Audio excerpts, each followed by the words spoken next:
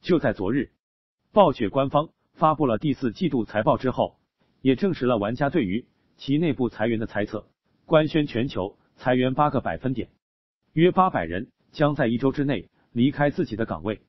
对于热爱暴雪系的老玩家来说，无疑是一则惊天噩耗。毕竟，根据去年暴雪嘉年华透露的信息以及裁员的态度来看，暴雪在今年推出新 IP 大作的概率已经微乎其微了。似乎只能靠着老牌的《暗黑破坏神》手游、《魔兽争霸三重制版》以及《魔兽怀旧服》来撑撑场面了。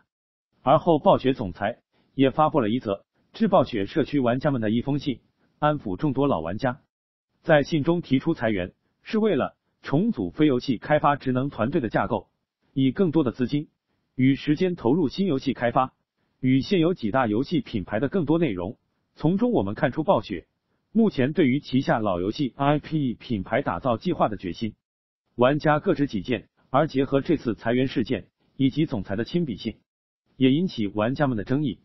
对于暴雪系老玩家而言，尤其是魔兽世界玩家，面对如今八点一的疯狂搞事且吃出剧情，巴不得暴雪多裁掉几个鬼才设计师来重现魔兽昔日的辉煌。对于总裁致力于还原老牌游戏之举，表示十分支持。并且希望早日看到魔兽怀旧服的上线，但是对于处于暴雪边缘的星际以及风暴英雄玩家来说，这次裁员造成了一种人心惶惶的感觉。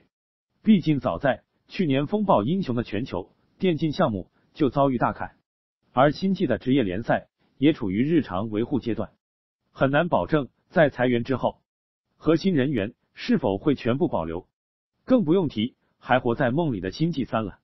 骚操作！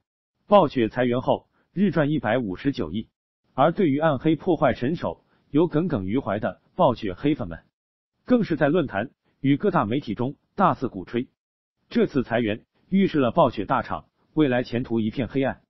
可是真相真就如此吗？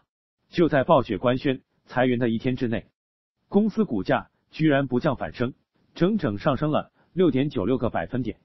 综合整体市值来看。净赚二十三点六七亿美元，看来各位玩家嘴上说着暴雪要凉，王权没有永恒，身体却是十分老实，偷偷含泪支持了一波暴雪。春节期间，面对守望先锋三十八元以及魔兽世界季卡送错旗的优惠，还是管不住自己的手啊！特别是当暴雪噩耗来袭，玩家们又一次贡献出了自己的力量。我估摸着魔兽世界。虎年怎么也得送个幽灵虎吧？炉石传说回馈一波，送个卡包什么的。不管如何，我们真的不希望一款走过一五年风雨的魔兽世界渐渐走向没落，也不希望看见一家创造出暗黑、守望、炉石等经典游戏作品的游戏公司陷入僵局。不过，也希望暴雪可以找回初心，回归当年那家认真倾听玩家意见的良心公司吧。管管设计师。救救魔兽，救救经济，救救暗黑三吧！